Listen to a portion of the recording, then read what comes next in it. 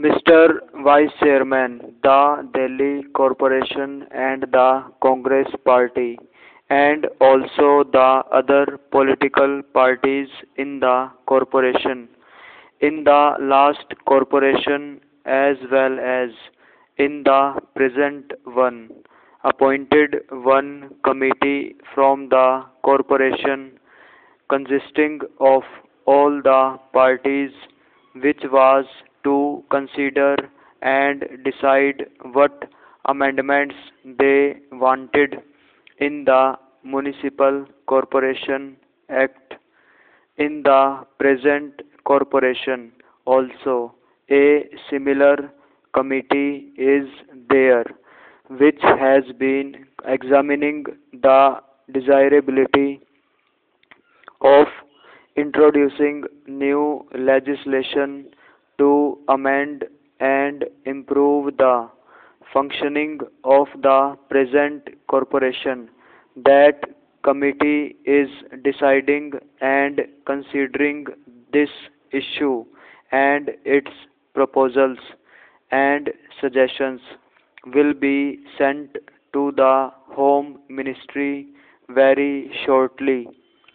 The Home Ministry is also very anxious that various amendments should be brought forward and that the Act should be improved so as to make the corporation very effective and efficient.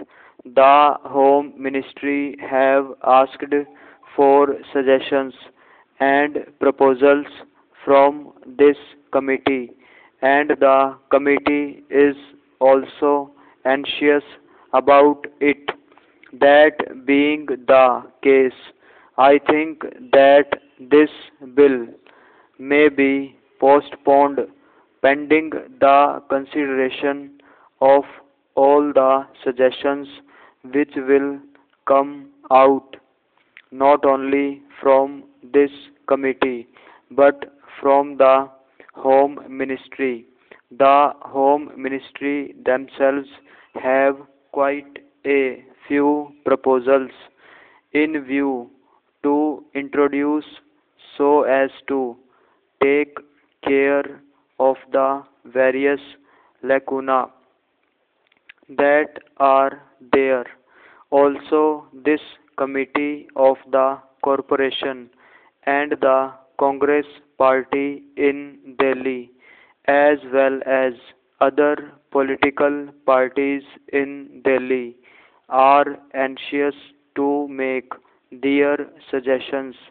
All those suggestions from all the parties and this corporation committee have to be examined in detail by the Home Ministry as well as the other departments concerned and there could be several suggestions by the ministry itself. So when all those proposals come, then I think the whole bill should be taken up and one complete comprehensive bill should be introduced to take care of all the difficulties, shortcomings and defects that there are in the Municipal Corporation Act. I may only briefly touch some of the difficulties that we have been facing for a long time.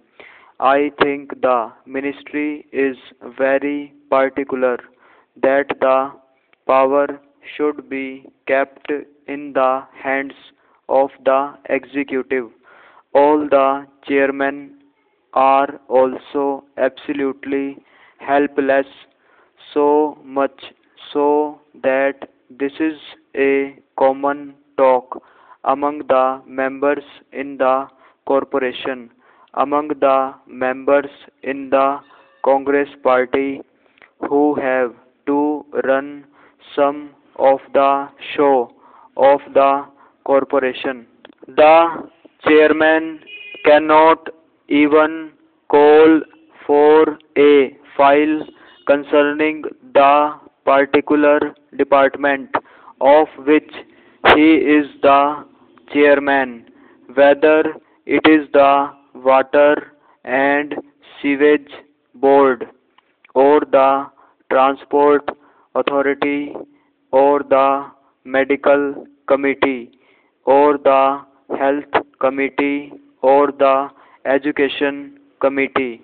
None of these elected chairmen who are the power or the authority to call for a file and examine the papers. A conversation was going on among the members concerning this problem as to how to handle the affairs of their departments if they could not look at a file or examine it. One suggestion made was that the mayor might call for the file and the chairman might go to his office and look at the file and then the mayor or might return the file. I think it is very ridiculous situation where you have all the 80 people sitting in that corporation hall with no powers at all. When the bill was passed and the corporation was established, I am very sorry to say it was a very nice toy given to the people of Delhi with which they might strike their heads over which they might quarrel and fight and deteriorate the whole business. It is because they have nothing to do, they have no powers. Then, as our experience goes to show, the machinery of the government is generally not so cooperative. The government are not at all interested in seeing that the corporation's function should be successful or efficient or that the corporation should succeed.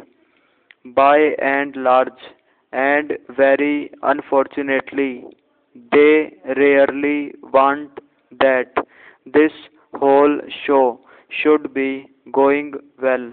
Well, they just as well want to enjoy the failures of the corporation and laugh over them and even propagate the failures everywhere in public and in private, here and there. It is very discouraging, very bad morale for the administration and the public at large. Unfortunately, it is like that. It is a fact to reckon with. It is a situation to be faced.